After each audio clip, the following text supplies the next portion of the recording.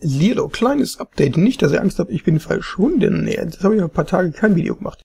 Ich habe mir den, meiner Meinung nach, Testsieger unserer kleinen Videoserie mal als Hauptbetriebssystem kurzfristig eingerichtet. Nicht, dass jetzt wieder einer schreit, bist du jetzt endgültig umgestiegen? Ich bin dieses Jahr mindestens fünfmal schon umgestiegen.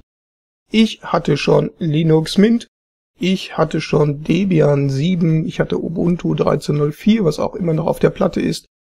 Ich habe Ubuntu 13.10, ich habe so ziemlich alles. Body Linux habe ich wieder runtergeschmissen, kommt auch aus Amerika die Paketquellen, genauso wie OpenSUSE. Gefällt mir momentan nicht so, was die Amerikaner so treiben, deshalb ist es wieder runter. Gut, aber eigentlicher Grund dieses Videos, ne, es ist jetzt, äh, es wird so langsam Zeit, ne, es wird so langsam Zeit. Was ist mit unserem Ubuntu Phone? Ubuntu Phone, das schlägt zwar alle Rekorde, ne, dieser Community-getriebene Support, beziehungsweise wir wollen ja das Ubuntu Phone, damit das funktioniert, müssen 32 Millionen Dollar zusammenkommen. Wir haben aber erst 10 Millionen. Und zum Zeitpunkt dieses Videos sind es nur fünf Tage noch, ne? Und das sieht jetzt schlecht aus, ne? Germany ist hier auf Platz 3, war auch schon mal auf Platz 2.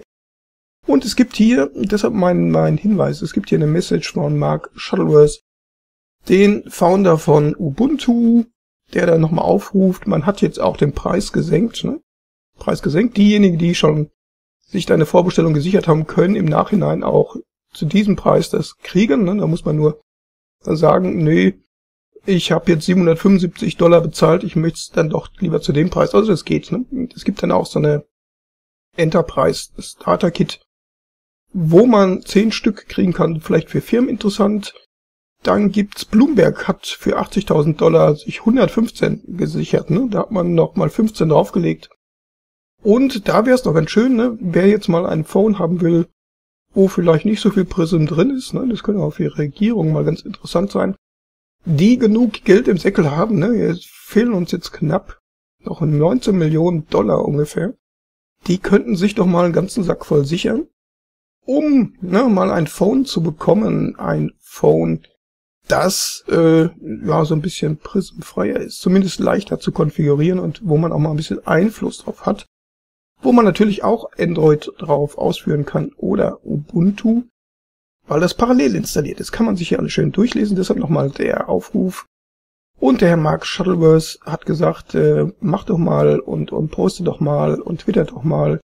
Das äh, mache ich jetzt reichlich, ne, weil nur noch wenig Zeit ist. Wäre schade. Wir haben zwar alle alle Rekorde gebrochen. Ne, dieses ähm, Community, wie auch immer, gepowerte Projekt. Ähm, so viel Geld ist noch nie zusammengekommen in so kurzer Zeit, aber die 32 Mille, die haben wir noch nicht. Ne?